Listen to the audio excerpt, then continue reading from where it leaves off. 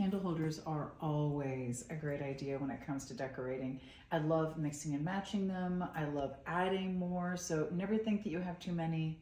There's no such thing. This is a beautiful set of three mango wood candle holders.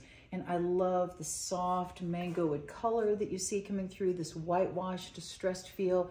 This has a platform on top, so you can put a pillar candle on it if you would like. And this one is a little bit smaller. I'm personally fine in putting a little bit larger pillow can pillar candle on it too, so it kind of comes over the sides a little.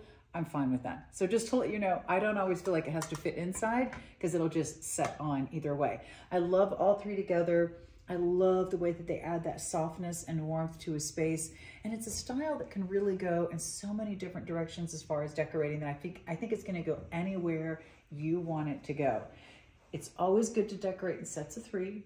It's always good to decorate with candles and it's always good to have something beautiful to put them in. And so these are gonna be perfect.